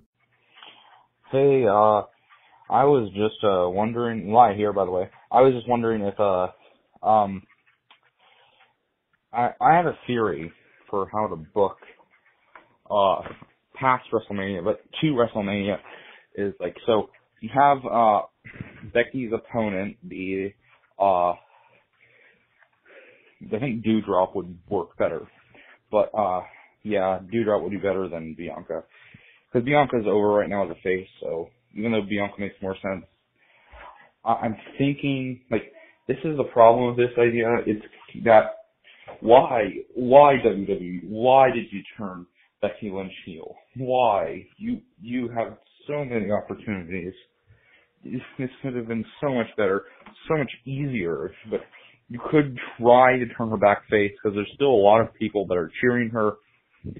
And so, anyway, you could have Doudrop, uh, uh, team up with, I don't know, uh, maybe like Shayna Baszler and Talia.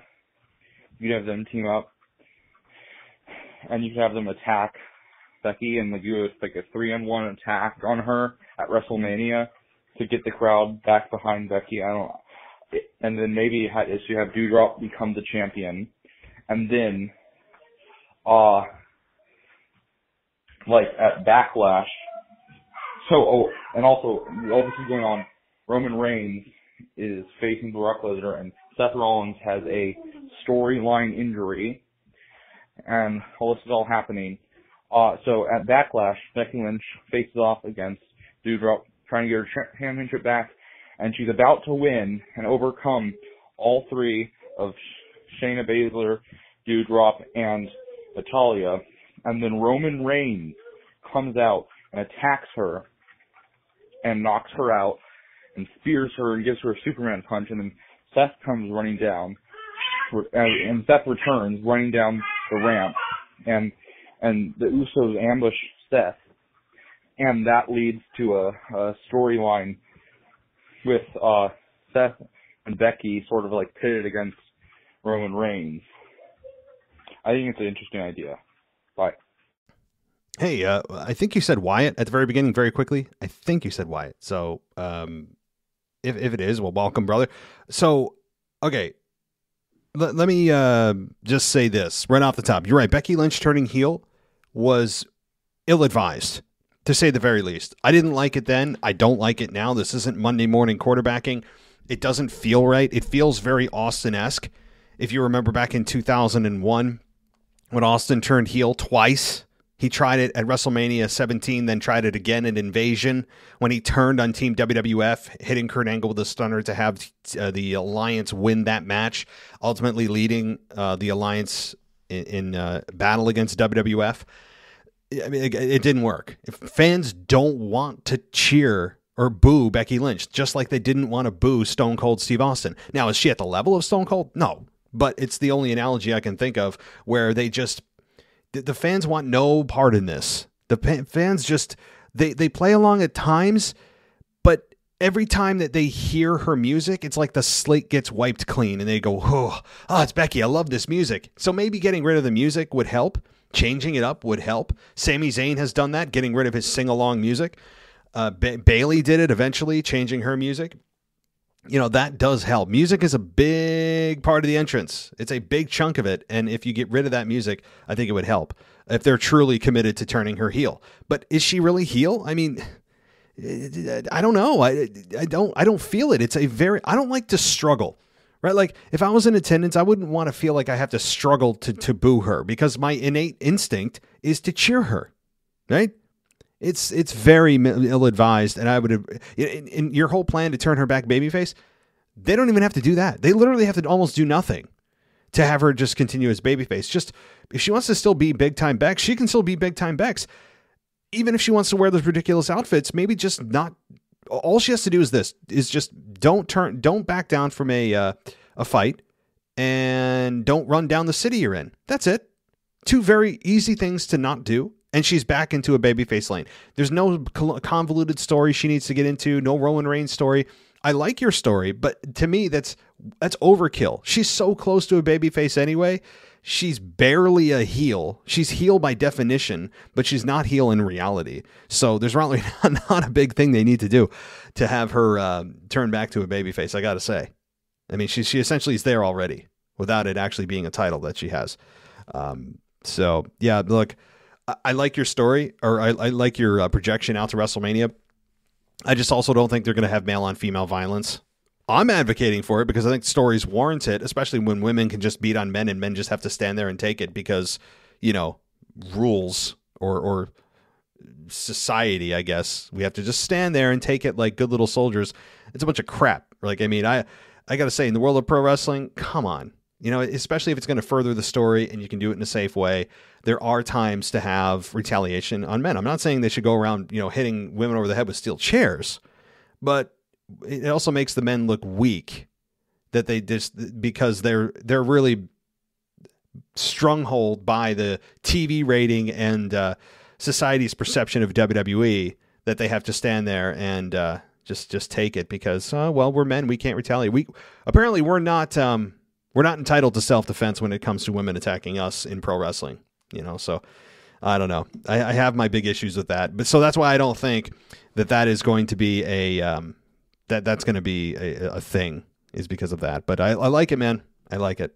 Okay, let's keep things moving, folks. Hey, Matt, it's Kyle from New York again. Um, first thing I want to say is uh, I actually I actually sent an email last week for the takeover mailbag, and uh, Mr. Casualty I never got it. I don't know what happened there, but uh, yeah, I sent an email last week about like Royal Rumble predictions and stuff to him. So I don't know what happened to it. I sent it. I even double checked after I listened to the mailbag episode. It, it, it did send, so I don't know. Who me it did send. Anyway, uh, so the Royal Rumble. Overall, I think it was a pretty good show. I didn't like two things. I didn't like the men's Rumble that much. At least who won it. I didn't want Brock Lesnar to win it. I want AJ Styles to win it. And if the women don't want Liv Morgan to win it, I guess the winners are fine. I mean, I feel the same way about you with Ronda Rousey. I do not like Ronda Rousey as a person, as a character, as a human being. Not trying to, trying, trying to, you know, to get, to, it's probably a sensitive topic for people. Some people are probably big fans of her. I'm sorry. I just don't like her as a human being or a person or a character. I just do not like Ronda Rousey. Period. That's all. I hope she gets released, honestly. That's why I don't like her. I shouldn't say that. That's, that's bad to say. But I hope, I hope she quits on her own terms. That's what I'm hoping. uh, I wish we're getting her versus Becky. I don't want her versus Charlotte, but that's, that seems like that's where we're going. And I don't want to see Roman and Brock one on one again. Put Seth Rollins and Drew McIntyre in there so I make a triple threat. I don't like this at all. Uh, why couldn't Sasha win the Royal Rumble? I know it's me being biased, but I want to see Sasha versus Charlotte at WrestleMania. That's not happening, so that sucks. So, uh, yeah, I I can't really think of any questions. I just want to give my thoughts and opinions on the Rumble, I guess. I guess the one thing I will ask is, do you think Seth and Roman are going to have a rematch at the Elimination Chamber? I guess that's all I got to ask. And my three minutes are almost up already, so thanks as always, and I'll talk to you next week. Kyle, Well, my apologies. I have no idea what ha- I did get the email, and I sent it on to Mr. Casual Wrestling Fan. He had a ton to go through, so it's possible that he um, overlooked it, or for whatever reason it bounced back to me. But I don't see it in my my mailbox, so I'm just gonna, you know, uh, pass the buck to Mr. Casual Wrestling Fan and point all of the blame, like 100 percent of the blame, on Mr. Casual Wrestling Fan. And uh, I mean, there's only one thing I can say after that. Yeah, I mean uh, that, that's that's it, right? I mean, that's the only thing I can say left. That, that's it. I mean, so uh, you, you've heard it right here. I, I guess Mr. Casual Wrestling Fan has been publicly fired, and uh, of course I'm 100% joking. But I really, Kyle, I I honestly, honest to God, I um I don't know why the email wasn't read. Um, you know, we, we will make it up to you if you want to send in your email next week. We'll put it towards the top of the show and not let you wait. We'll put you in with the, the patrons. Okay, how about that? We'll, we'll put you with the patrons, and next time that Casual Wrestling Fan and Mrs. Casual Wrestling Fan do their um, do their uh, review and their their comments and responses to the mailbag, which will be in just a couple of weeks already with the Elimination Chamber coming up in February 19th. So that's that's my promise to you. Okay, as far as Ronda getting released, I don't think you're taking it too far because it's not like her getting released by WWE is going to put her in any financial hardship. You know, there's a difference between somebody that's a megastar, that was a megastar and made a boatload of money prior to coming to WWE with UFC, movie deals, sponsorships, commercials, all that, and then having her get released from her contract is not going to exactly break the bank for Ronda. Now, don't, don't get me wrong; it's probably a multi-million dollar contract, but I won't feel bad for her. Like we're not going to start a GoFundMe for. Uh, for, for her anytime soon. Okay, N- none of us are going to do a collection for her her Christmas gift. Uh, so I, I, I, will not feel bad if she got released. I, I, I, yeah, I do like her as a performer. I will say that because I want to see somebody beat her, beat the holy hell out of her. To me, she's a great villain in that sense. Uh, Seth and Roman Reigns at Elimination Chamber. Yeah, I could see that because I don't think they want Seth and Roman Reigns at WrestleMania. So they're going to get through it at EC Elimination Chamber, and then move on to maybe Drew and Roman slash Brock in there as well because he's obviously challenging Roman. So that's what. I'm, yeah, that's a good call, and and I think they'll probably get through it at that point. And Seth and Roman will put on another clinic at Elimination Chamber. So, all right, keep things going and uh, see who's next. Oh, hey Matt, it's Devin here. I'm from Brisbane, Australia. Hope you're well. Um, watched the Royal Rumble as um, millions of people in the uh, WWE universe. Uh, it's got me excited again seeing Ronda Rousey back, though I've probably have seen a similar angry look on her face from um, my toddler when he doesn't get his own way at home. So, uh, kind of off-putting watching her pout like she does. It's just, I don't like it. But anyway, um, I'm looking forward to see where the storyline heads. Um, one other observation I've always made with Royal Rumbles is especially when You've obviously got some match, um, some the the, the the the rumbles going on, right? And then the music hits for someone who's making a return. In this case, Ronda Rousey. Everyone in the ring just stops what they're doing. It's like drop the tools. Let's just look and put our disbelief face on. Now, as a heel who's possibly in the ring at the time, this would be the best time to go, oh, hey, everyone's just stopped. And he could throw, he or she, this could happen in um, any match, he or she could just start throwing people over the top rope because no one's paying attention. No one's doing battle. They're all just staring like possums in headlights. So I always find that amusing. I mean, I know you don't want one person suddenly clear the ring, uh, but my God, the opportunity's there for someone to go, hey, I'm taking advantage of this, especially a heel, and just start hoiking people over the top rope. So, uh, yeah, that's just my observation. Um, I think that would be, uh, you know, that could create other storylines as a heel taking out another heel or a baby face down the line by him doing that or her. Uh, but yeah, I kind of find it a bit weird that everyone just stops and stares uh, anyway, um, I'm looking forward to the WrestleMania season.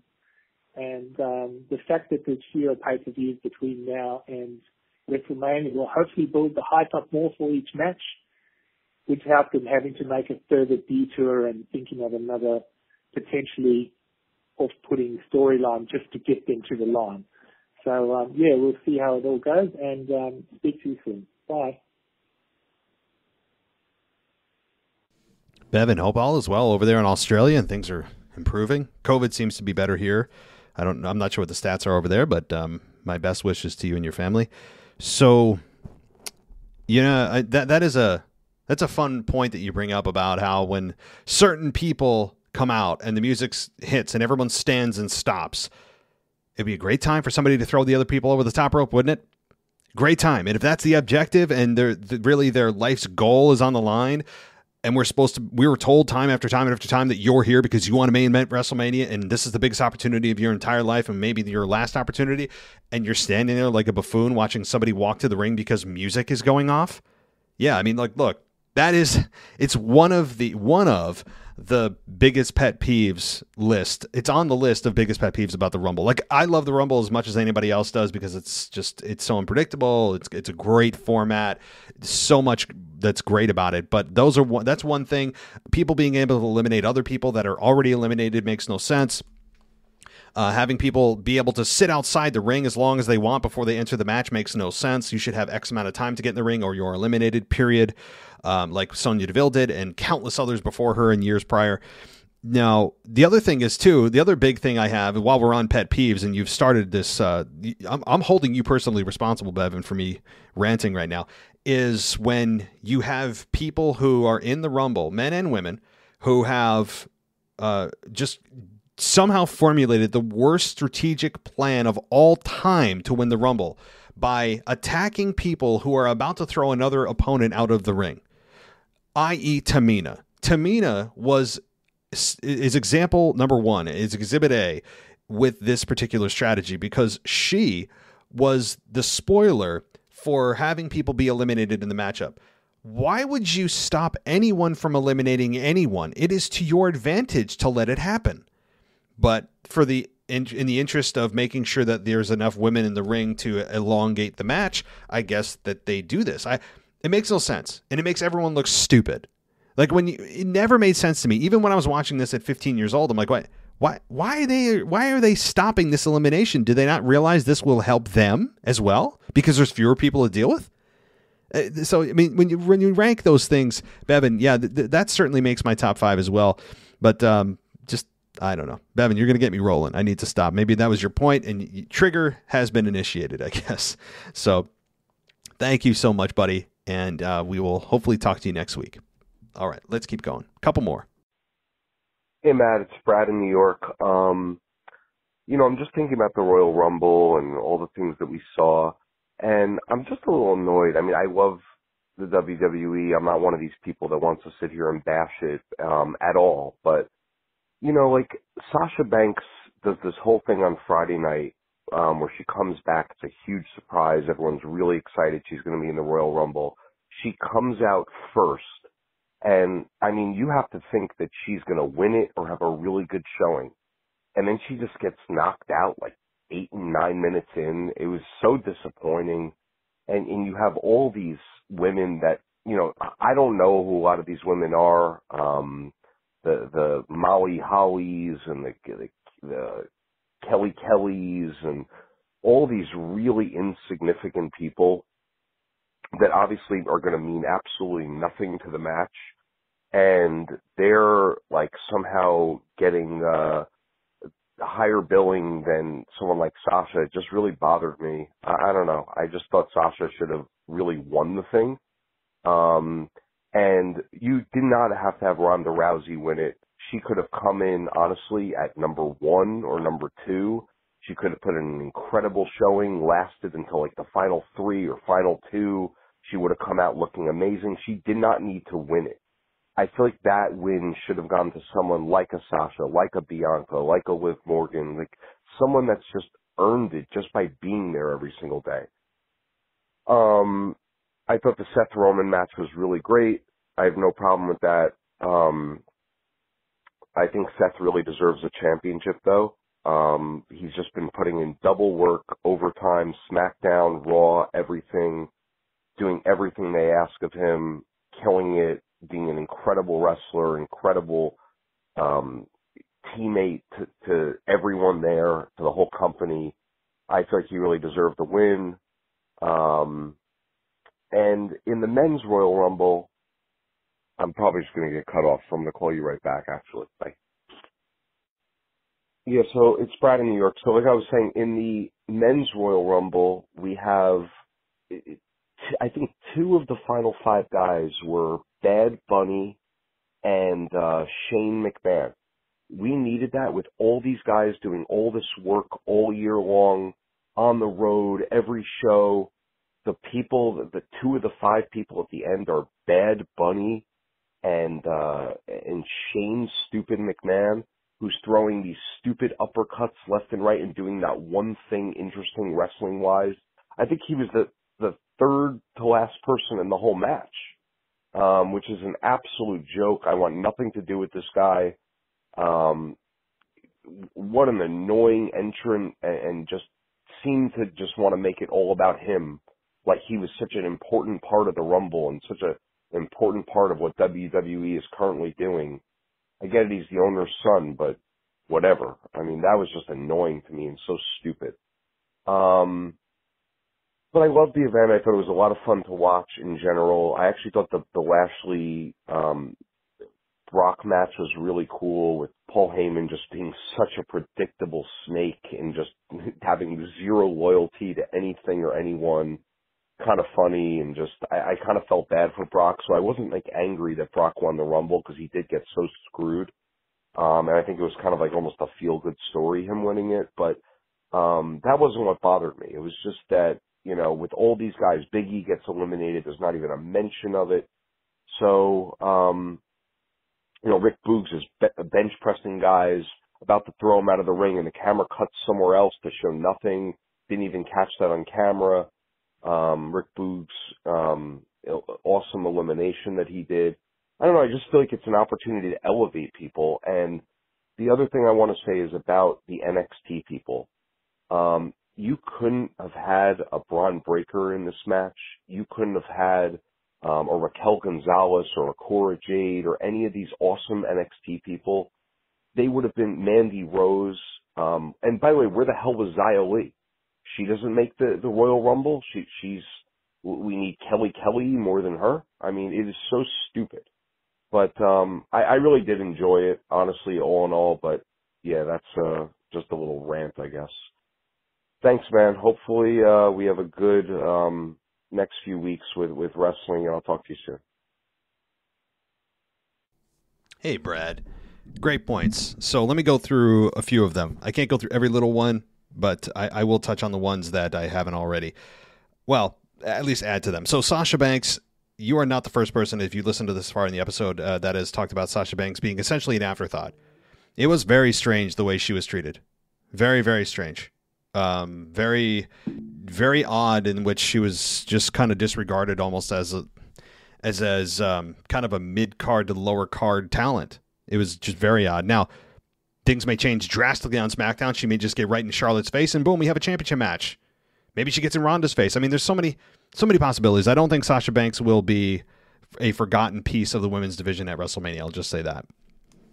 Um, but Seth versus Roman, yes, um, definitely was the match of the night. And him having a championship is long overdue. Seth Rollins needs a championship at this point. He deserves a championship at this point. He has been so good now for so long. It's time. His character's ready. It's in a good place. He needs it. He would be able to lead, the, uh, steer the ship. Now, it shouldn't be Roman Reigns that he takes it from. It should probably be winning it at the Elimination Chamber. That's what I hope. That's my prediction. I don't think Bobby holds this championship very long. Um, so the the next point, yeah, I mean having two of the final five be Bad Bunny and Shane McMahon.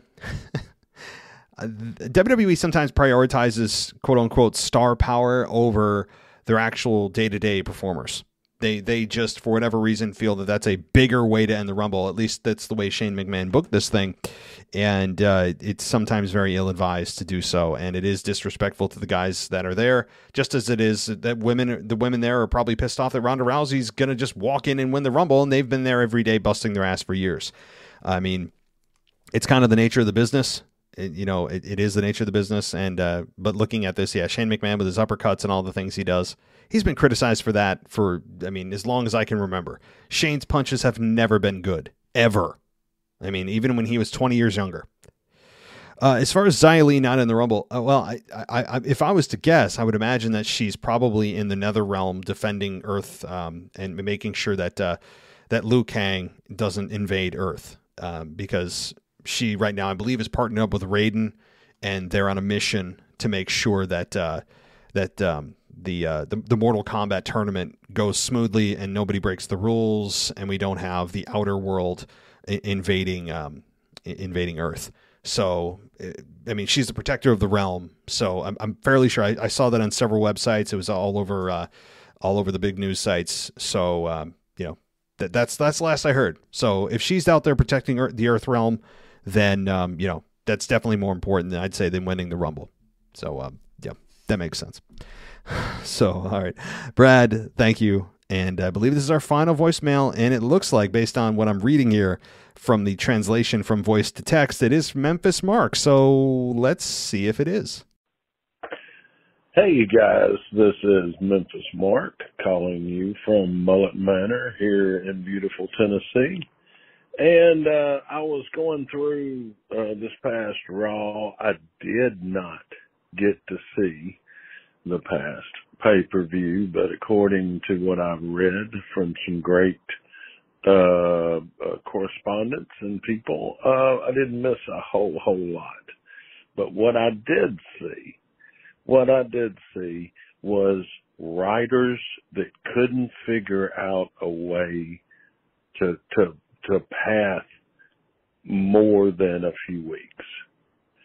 There was no way. I mean, what they did was set up that Bobby and Brock and Roman, everybody's still kind of on the same page.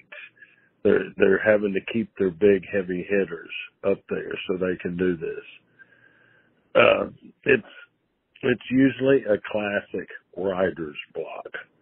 They don't know what to do, so there's a few weeks in territorial days that uh, that you wouldn't have a clear purpose or a clear path. They've had it for a few more than a few weeks. Um, free Cesaro, what the hell's going on, man? They're never going to do anything with Cesaro.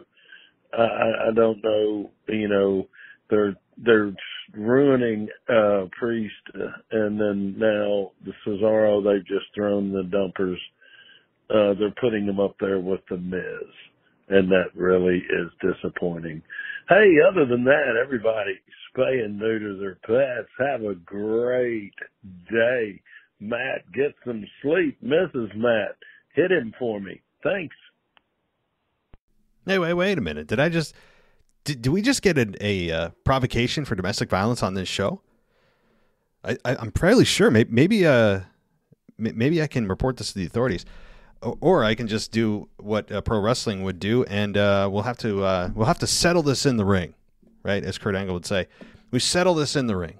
So uh, what I mean by that, maybe my wife and I, any issues, marital issues, we'll just settle them in the ring.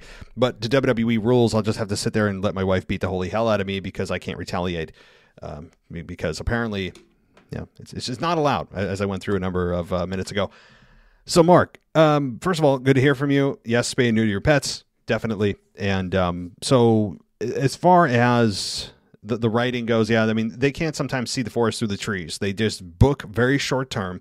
They have an idea, maybe what they want to do long term, but it's not showing itself on a week to week basis. So they kind of just do stuff. And that's been the problem for I don't know how long. WWE just does stuff and they don't have a long term plan for what they want to do. Do I need to go back and mention Retribution? Do I need to go back and mention Raw Underground? Do I do I need to? Do I need to mention why we never got an explanation for Brock Lesnar's suspension being lifted? They just did it and didn't bother to explain why there's people showing up on SmackDown that are Raw stars and vice versa. Do I need to? They just do stuff.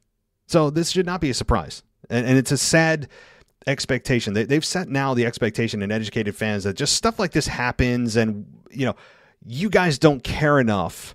You just want the ultimate destination. You don't really care about how we get there. We're just going to get there. And I care. You care. And I think most fans do. And I think it's insulting to the intelligence of fans when they just they just do stuff with short term booking. As you said, there's weeks in which, yeah, you're gonna have a kind of a schmaz show or two, but not on a regular basis. You know, the not on a regular basis for sure.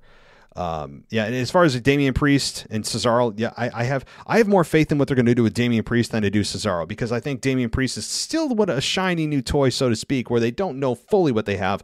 Cesaro's been there for how many years now? They know exactly what they have in Cesaro. They, I think, have felt that they've gotten everything they can get out of Cesaro, but he's a good gatekeeper. He can work with anybody. He's an amazing athlete. He's insanely strong. He doesn't do anything stupid to hurt the company in a PR way.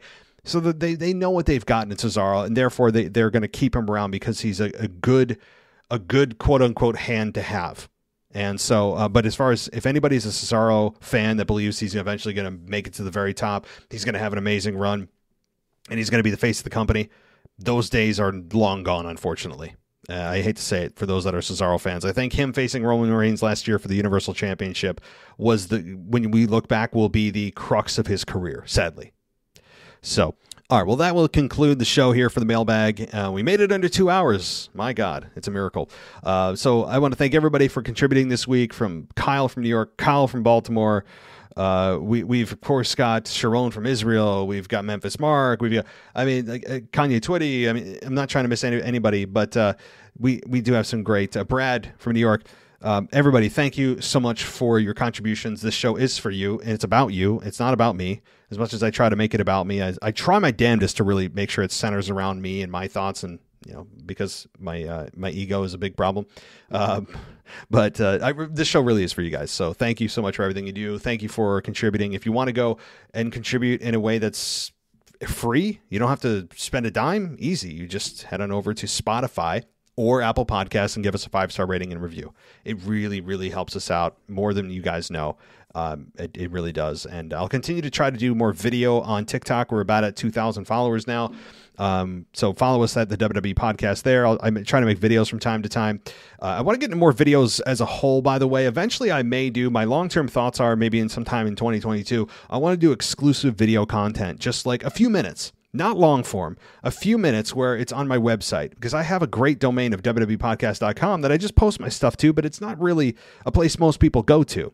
So I want to make that more of a destination and maybe set up some exclusive content, um, that kind of stuff. So just I'm forward thinking. But um, thank you everybody uh, for listening. I'll be back on Sunday night for your weekend review. Until then, thanks so much for listening. As always, take care, and I'll talk to you next time. Thanks for listening to the WWE Podcast. Don't forget to subscribe on your favorite podcast app so you don't miss a show or head to WWEpodcast.com.